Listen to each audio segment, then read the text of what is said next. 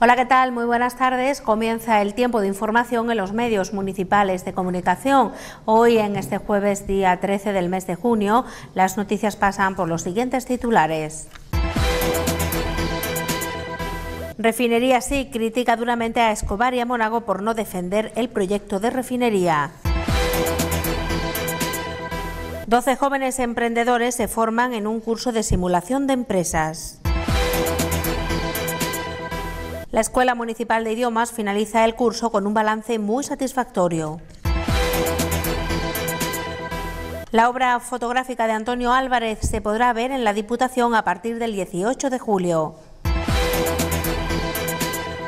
Esta tarde, procesión de San Antonio. Alrededor de 250 personas asistirán el domingo a la comida convivencia de la Asociación Oncológica, aunque el número puede aumentar porque el plazo de inscripción continúa abierto. A partir del lunes se pueden realizar las inscripciones para las actividades acuáticas.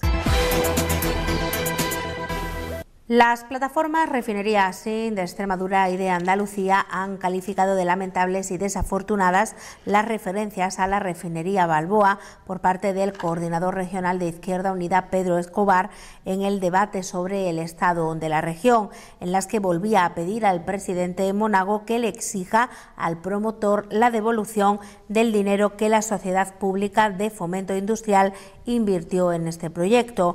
Es, señalan, lamentable y de vergüenza que se siga jactando de haber parado la refinería en una comunidad donde hay 180.000 parados necesitados de conseguir empleo. Esa, dicen, parece ser una de las grandes preocupaciones que tiene el líder de Izquierda Unida en Extremadura, que prestó su apoyo al Partido Popular a cambio de rechazar este proyecto. Lo consiguió y ahora todos los extremeños estamos pagando por ello, ha indicado Pedro Pecero, portavoz de este colectivo. Sin embargo, Refinería sí mantiene la esperanza de que haya un cambio en el rumbo de la política y el Ministerio de Industria de el sí definitivo a este proyecto. Refinería así agradece también al líder del Partido Socialista, Guillermo Fernández Vara, que se haya sincerado y haya hablado claramente de que durante su mandato no consiguió este proyecto, por lo que pide que se siga defendiendo ante los organismos competentes. En relación al discurso de Monago sobre su apuesta por las energías renovables, Refinería así señaló que científicos y expertos apuestan en todo el mundo por el mix energético, es decir, por la combinación de las energías convencionales y las renovables, eh, porque solo con las renovables no se podrían abastecer las enormes necesidades energéticas del país. Los partidarios de la refinería apuestan eh, están apostados, queremos decir, a las puertas de la Asamblea de Extremadura en Mérida y han repartido billetes de 500 euros, por supuesto falsos, en los que en el reverso se ve la imagen de Monago y de Escobar, en la que el presidente le pregunta al líder de Izquierda Unida por la refinería, a lo que Escobar contesta, nosotros tenemos trabajo, ¿no? Pues entonces hazte el sordo. Dentro del Plan Provincial para el Fomento del Empleo, el Emprendimiento y la Promoción Económica puesto en marcha por la Diputación de Badajoz, se está celebrando en Villafranca un taller de simulación empresarial de 85 horas de duración destinado a emprendedores y a empresarios noveles, con el objetivo de mejorar la cualificación técnica y las habilidades personales necesarias para gestionar una empresa. Águeda Antúnez es la concejala de Promoción Económica y Empresarial. Eh, se está llevando a cabo un curso de simulación empresarial dentro de una serie de actuaciones que está llevando a cabo la Diputación de Badajoz en el plan de empleo, emprendimiento y la promoción económica y empresarial de nuestra provincia. Este curso de simulación empresarial estaba orientado para jóvenes emprendedores y empresarios que quieren obtener una serie de habilidades a la hora de montar y gestionar su empresa. Dicho curso empezó el día 24 de abril y termina el 18 de, junio. Eh, han sido 17 sesiones las que se van a llevar a cabo, eh, con un total de 85 horas, y han participado un total de, 12 alumnos en, en, lo que es el CIS nuestro de aquí de Tierra de Barro, con nueve proyectos empresariales. Este proyecto se ha llevado a cabo en otros dos CIS más también con, han participado una media de 10 alumnos con una media de 9 proyectos empresariales. Y nada más, eh, simplemente, bueno, pues eh, comentar eso, que dentro del plan de empleo, emprendimiento y empresas de la Diputación de Badajoz, esta es una de las iniciativas pioneras que se estaban llevando a cabo. Luego continuaremos con el centro de, con una escuela de emprendimiento y de eh, el impulso a la innovación.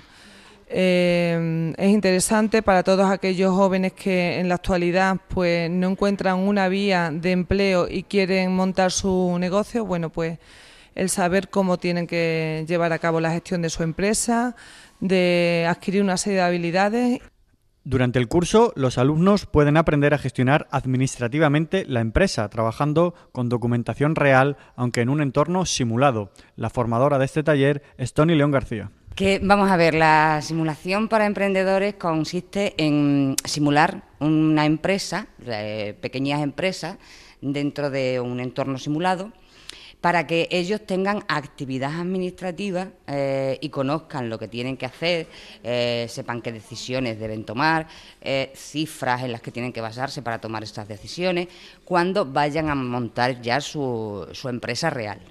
Aquí trabajamos con un entorno simulado, compramos y vendemos a empresas que son como nosotros, que también son simuladas, y bueno, mediante ese, de esa labor comercial eh, es lo que nos aporta el papeleo necesario para tener la administración de cualquier empresa controlada y poder mm, saber qué, impuestos tenemos que presentar, eh, qué plazos, qué, cuánto tenemos que presentar, de cuánto tenemos que pagar o cuánto tenemos que pedir, mm, tramitación de subvenciones, en fin, mm, es, es muy a medida todo, ¿no?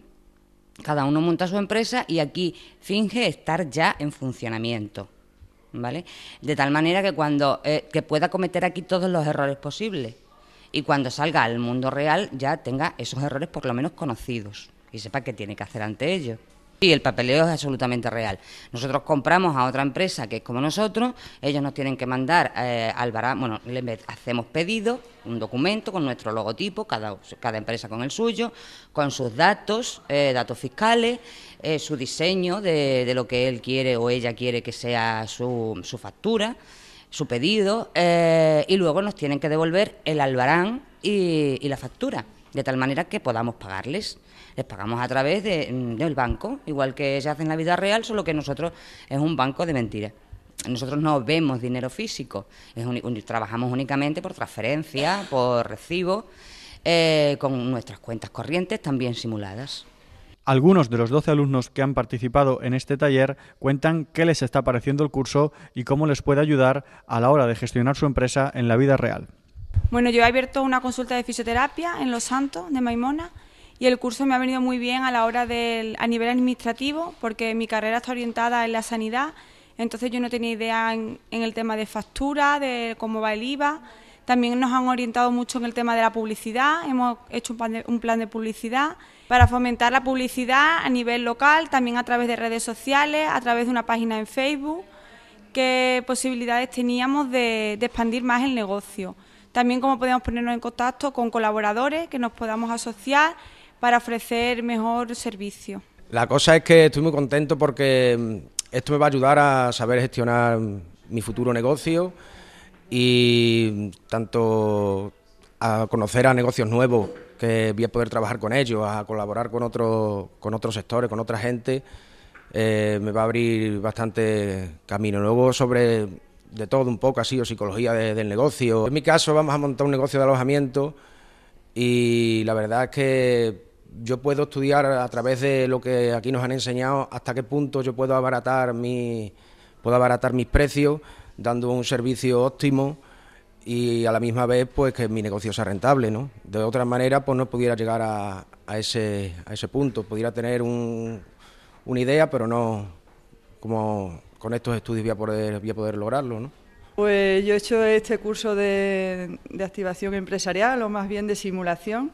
Yo soy licenciada en Derecho, soy abogado, pero me ha venido estupendamente porque había cosas que no tenía ni idea o las tenía olvidadas, como es, por ejemplo, todo el tema de facturación, el tema de mm, impuestos, cualquier cosa eh, que sea empezar tu negocio, se hacía un mundo, porque el contenido de mi negocio lo tengo clarísimo, pero el resto es muy complicado. Y después me ha dado a conocer también emprendedores, que parece que somos una especie difícil de, eh, de ponernos en contacto unos con los otros y aquí pues he conocido gente fantástica, con unas ideas innovadoras, con muchísimas ganas y gente joven, gente como yo, menos joven, pero todos con las mismas ganas. Y, bueno, este curso me ha posibilitado el coger mi empresa desde cero y ponerla en un nivel bastante interesante para arrancar y decir, ya estoy preparada. Eh, mi empresa es de tramitaciones agroganaderas, eh, es una empresa dedicada a mejorar todo el tema de gestión de explotaciones agrarias o ganaderas y mi experiencia pues me, ha llevado a, considerar que tengo un producto. Aquí me han enseñado también a, centrar bastante mi producto, a darle un poco de forma. Eh, nos han ayudado también al tema de, de lo que es el, el pues esto, el, el orientarlo hacia, hacia la gente, que la gente nos conozca.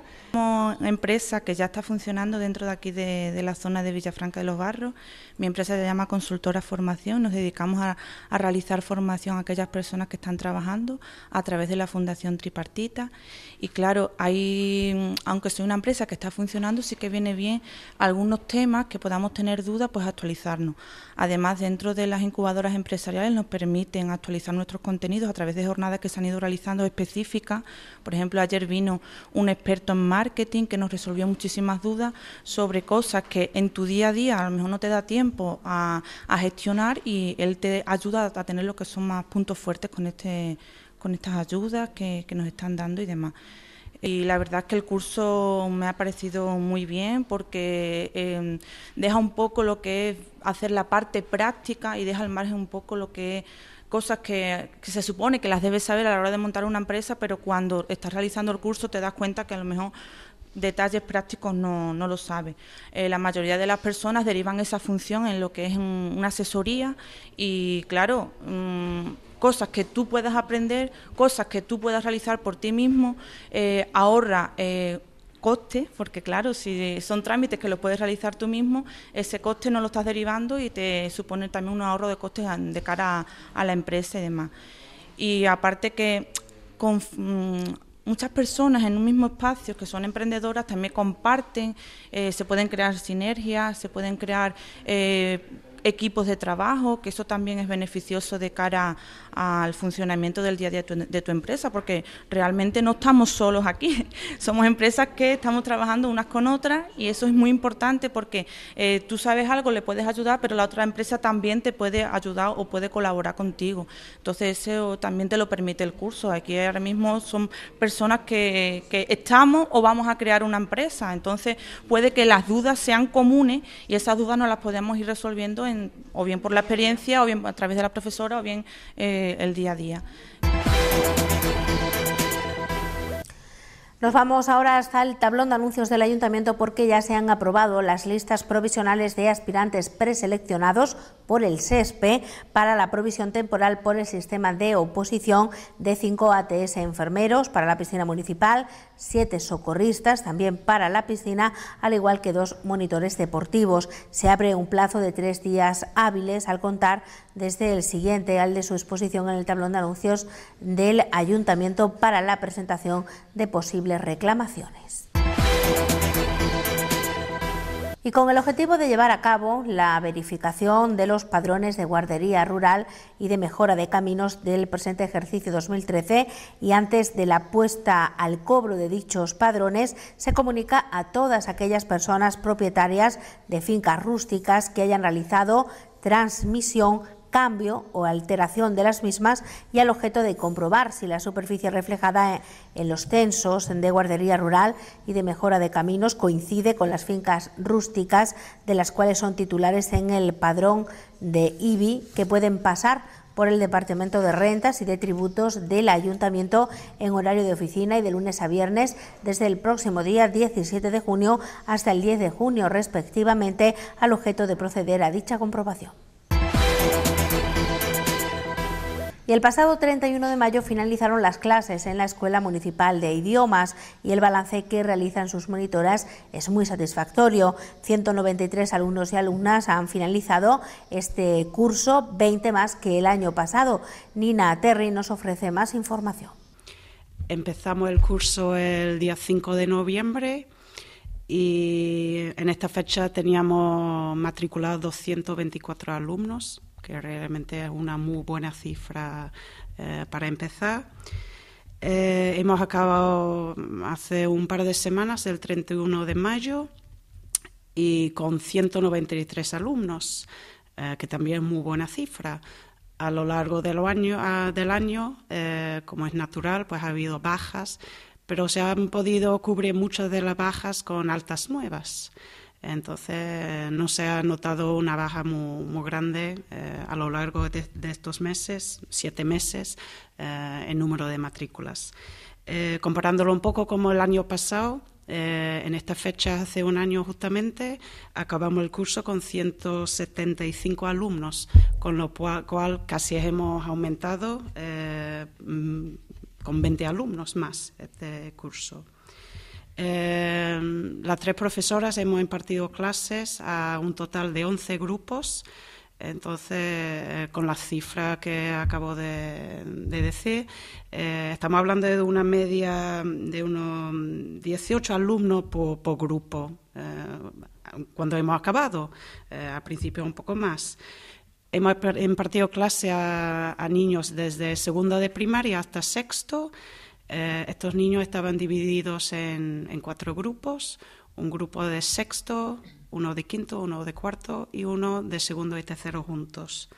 Y los otros restantes siete grupos eran de lo que llamamos adultos, que son una mezcla de adolescentes desde secundaria y luego sin límite de edad. Eh, estos grupos pues, han estado divididos también por nivel, eh, desde el nivel básico 1 eh, hasta el nivel avanzado 1, que ha sido una novedad este año. Em, hemos tenido dos grupos de nivel básico 1, eh, dos grupos de nivel básico 2, eh, dos del intermedio y uno del avanzado. Hemos empezado más tarde de lo debido este año, con lo cual realmente este grupo no ha podido ver todos los contenidos. Entonces, en un principio, acabaríamos, eh, a principio del curso, acabaríamos el avanzado 1 y supongo que ya para el tercer trimestre, como muy tarde, pues ya empezaríamos a, ver la primera parte del nivel avanzado 2. Em, eh, son, hay mucho contenido a estos niveles. Eh, que lo, pueden decir bien los niños y los adultos de ese grupo. Es un nivel muy fuerte. Eh, entonces eh, ha sido un cúmulo de, factores. El empezar más tarde este año y también el primer año no sabía exactamente los contenidos, cuánto iba a tardar. Le ha resultado complicado a los alumnos. Entonces quizá el ritmo lo hemos tenido que bajar un poquito eh, a, su nivel, a su nivel lógicamente.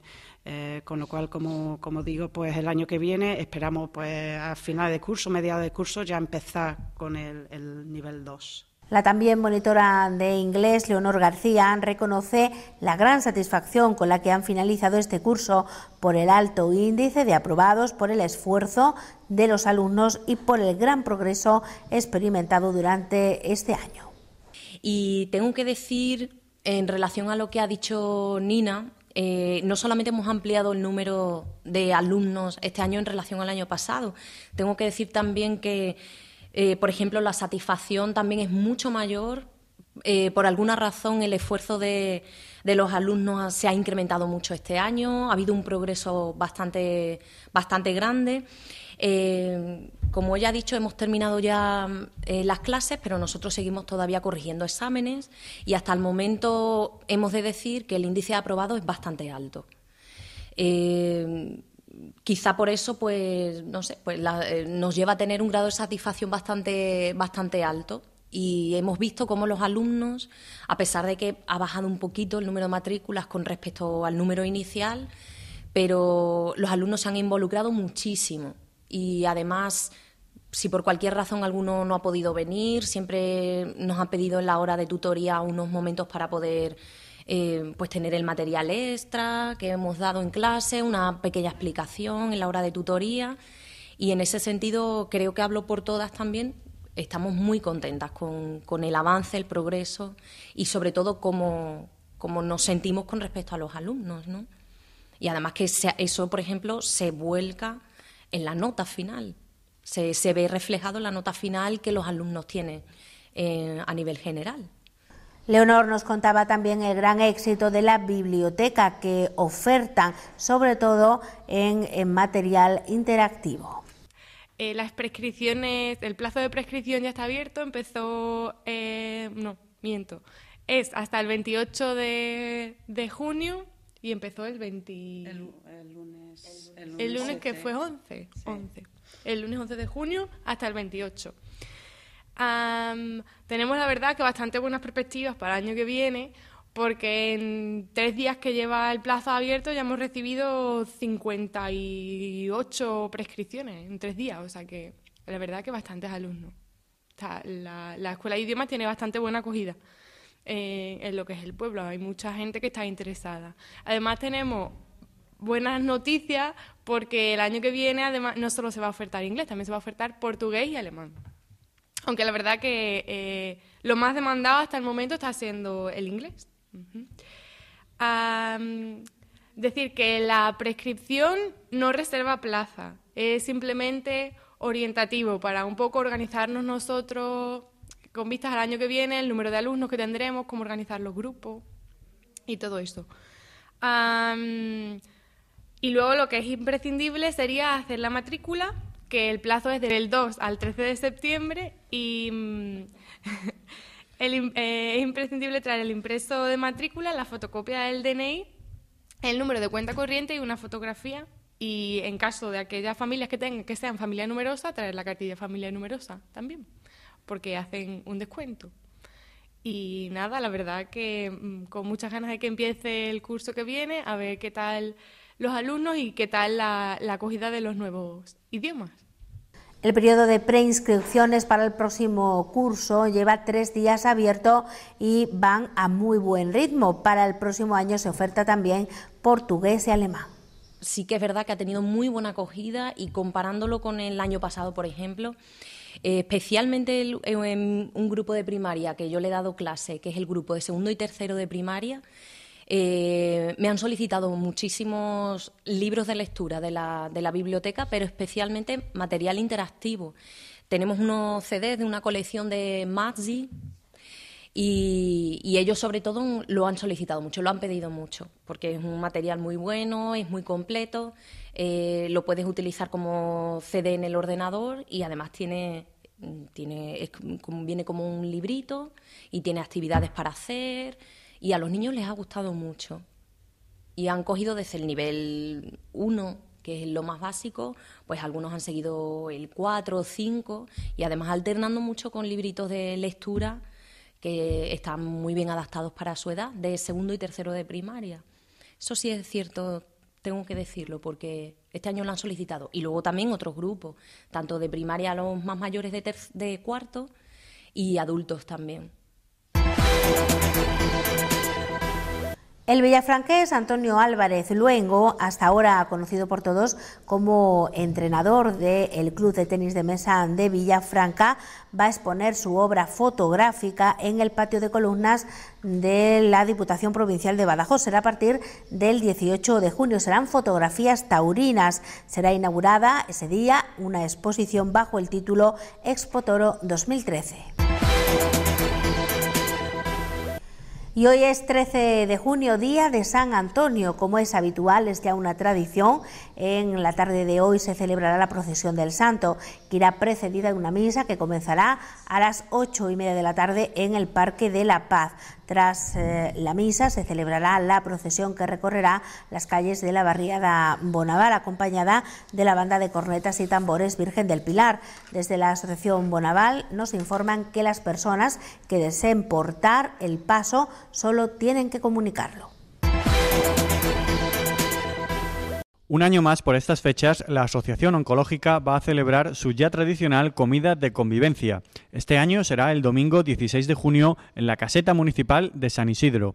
La presidenta de la asociación, Concha Brajones, ha destacado algunos de los talleres que organiza esta asociación por su incremento en el número de participantes. Todos los años tenemos un ciclo de talleres, como ya sabéis, y al finalizar cada año hacemos una fiesta especial para agradecer lo bien que han salido los talleres. El 16 de, junio haremos nuestra fiesta final.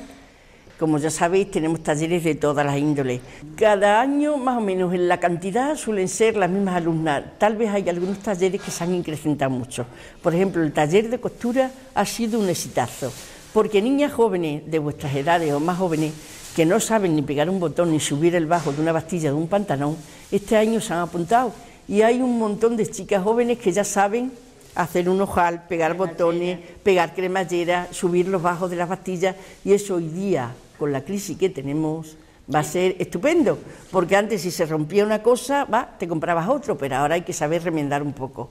Así que ese taller ha sido un éxito, pero ese ha sido incrementado los muchos talleres que tenemos. Los anteriores talleres, talleres han sido más o menos el mismo número de alumnas y mm, el objetivo se ha cumplido, o sea que se, dice a ver si se hacen tantas labores. De esas labores parte pasan a la asociación y otras se las llevan para sus casas porque las hacen ellas luego incluso en sus casas. Y mm, luego mm, otro, otros talleres... El de baile el de, El de baile de salón. Ahora al final em, se ha puesto otro nuevo taller.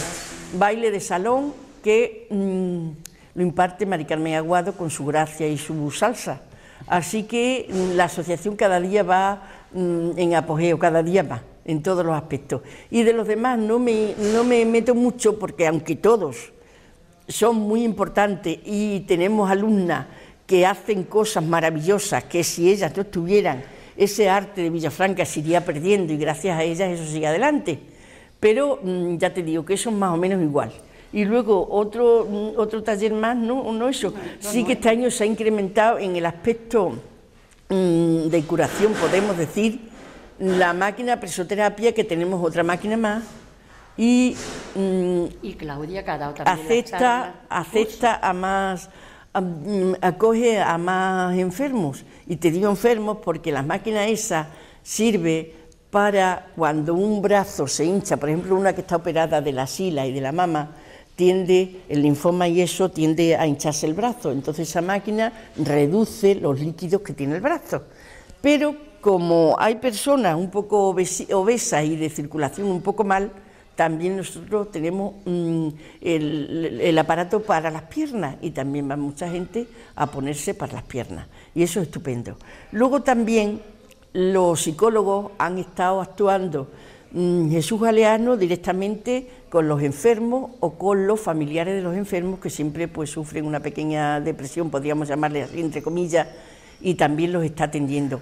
Pero luego nuestra psicóloga, Claudia, que es psicooncóloga, ha venido y nos ha dado unas charlas mm, más bien para mm, de relajación, de autoestima, de humorterapia, no risoterapia, sino humorterapia o sea, y hemos estado pues un mes entero, todos los, miércoles, dando, nos estaba dando una especie de curso participativo, no era la charla y nosotros los espectadores, sino que nos hacía trabajar a todo el mundo. Hasta muy bien. y, y, nosotros tratamos de la asociación en sí mm, respetar todo lo bueno que tenemos y continuarlo, pero Mm, adquirir cosas que vemos que son buenas para el paciente oncológico y su familia. La vicepresidenta de la asociación, Aurora García, ha comentado cómo será el menú, que este año incluye algunas novedades, y ha avisado de que habrá una sorpresa, un regalo para cada socio que vaya a la comida. El domingo empezará a las 2 de la tarde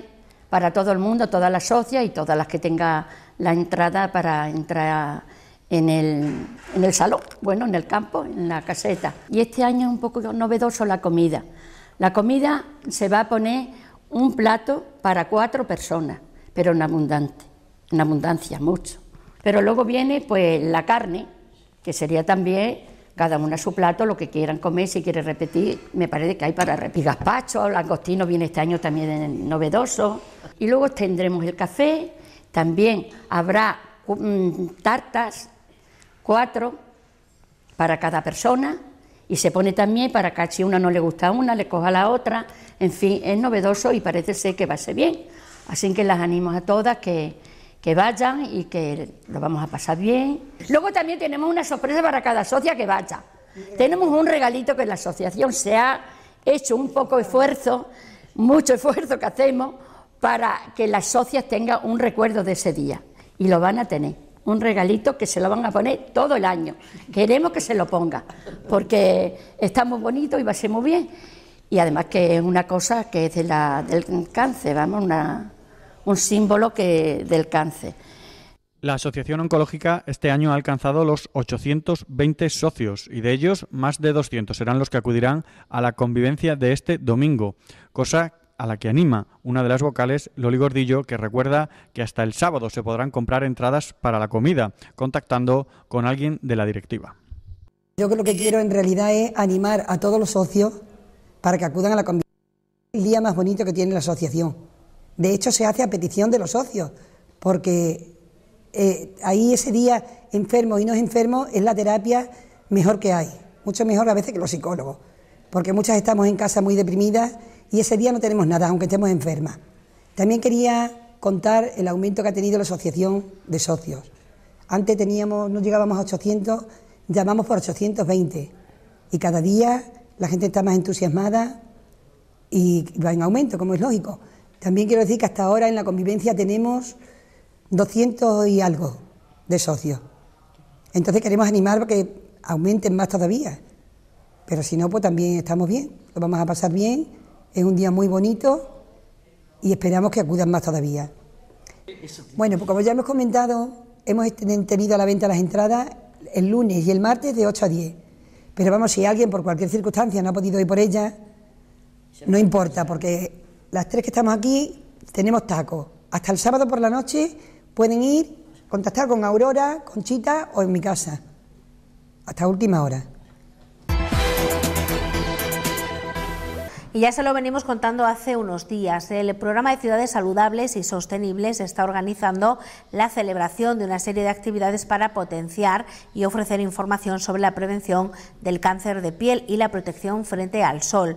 En colaboración con la Asociación Oncológica Esperanza de Vida y con el Centro de Salud de Villafranca han organizado para esta tarde una charla en la que se podrá intervenir. La califican como una charla bidireccional en la que se pueden realizar preguntas, sugerencias y también hablar sobre todo lo que preocupe a la persona que asista a esta charla. Será dirigida por el coordinador del Centro de Salud de Villafranca, José Marmesat, y por la farmacéutica Purificación Romero. A la charla se ha invitado también a las AMPAs, por lo que eh, se invita a padres e hijos a que asistan. Al finalizar esta, se proyectará un vídeo y se repartirá un folleto sencillo, así como muestras gratuitas de eh, cremas para proteger del sol. La charla comenzará a las ocho y media de la tarde en la Casa de la Cultura.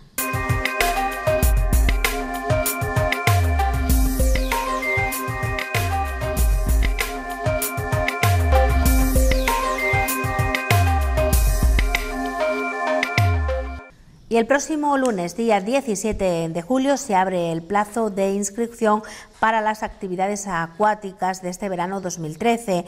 Pueden solicitar más información o realizar su inscripción en la oficina de la ciudad deportiva en horario de 9 a 1 del mediodía. De todas maneras, mañana conoceremos mucho más sobre esta oferta porque nos acompañarán monitores y el coordinador, el coordinador también de deportes eh, y el concejal Lorenzo García Mateos.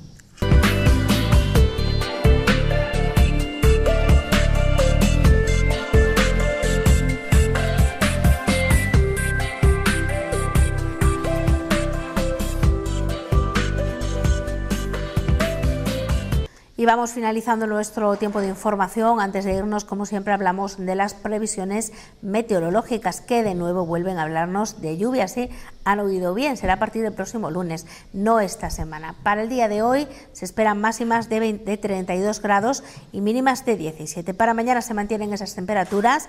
Para el sábado pueden subir ligeramente las máximas hasta los 33, así se van a mantener. También para el domingo y atención al lunes porque comienzan a bajar las temperaturas temperaturas y la previsión de lluvias está en un 30%. Las temperaturas bajan hasta los 27 grados de máximas y 15 de mínimas. Bajan aún más el martes hasta los 24 de máximas y hasta los 12 de mínimas. Y el porcentaje de lluvias para el martes es de un 20%. Y bien, así de esta manera finalizamos hoy nuestro tiempo de información. Saludos desde los medios municipales de comunicación. Que pasen una muy buena tarde y hasta mañana.